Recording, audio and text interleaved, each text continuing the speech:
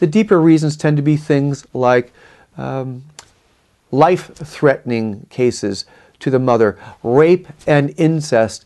And I just want you to know, in, in terms of accuracy, less than 5, 0.5%, 0.5% have anything truly to do with rape, incest, life of the mother issues.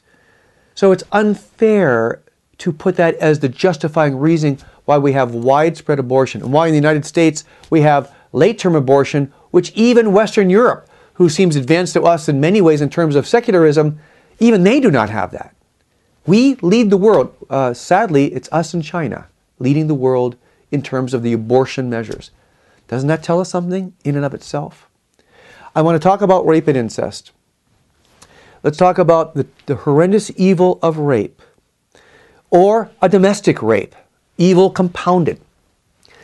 When you kill the child who has been conceived as a result of rape, you are giving the child a death penalty for something he has not done. The woman is innocent, absolutely. The child is just as innocent. Why would a woman who has experienced such a, a horrendous evil then do an even greater evil to a child even more innocent? Because the child in the womb has done nothing at all. And this is not at all to infer that the woman who is raped has done anything, but we're talking about equal levels of innocence, of personal dignity, of, of sanctity of life. And I want to give you a theological perspective of how God, how I believe God sees what happens in cases like rape and incest, and there's a pregnancy that, that, that evolves. Man can say, a human being can say, a woman can say, and by the way, when I say man, remember, women don't wake up pregnant. Uh, men have to be deeply involved and deeply responsible for the gift of life. And oftentimes, uh, over 60% of women say they felt pressure for the abortion, oftentimes from the man. And he holds that in his conscience.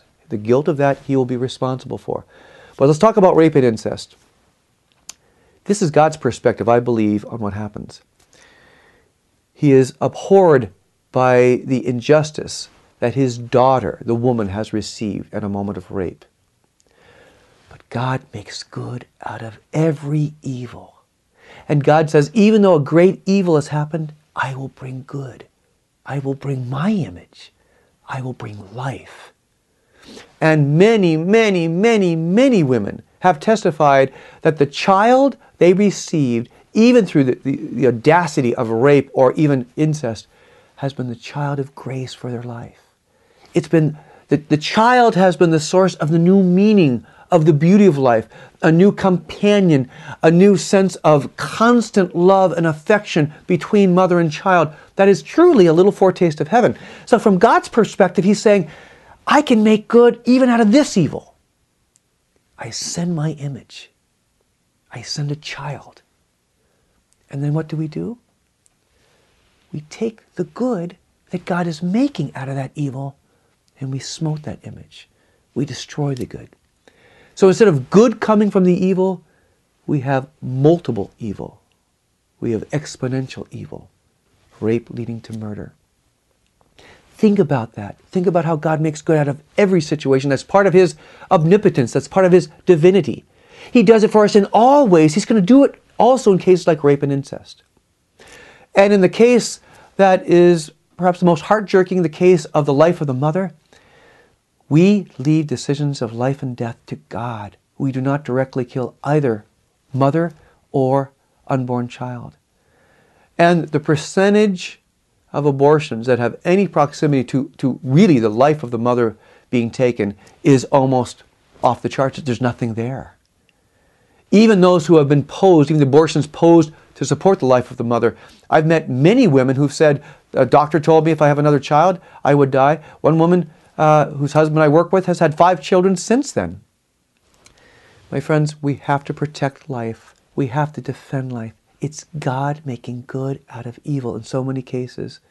And even when it's not a case of rape and incest, He's bringing new life. He's bringing new generation. He's bringing new love. He's bringing genius. He's bringing cures for things that we, we, we, we pain from now, but we're, we're, we're eliminating, we're terminating the next generation.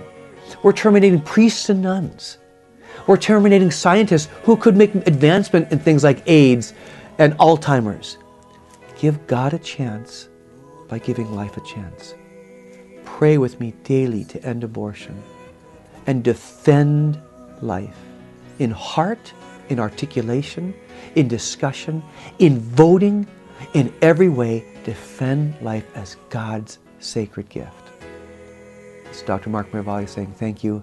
God bless you.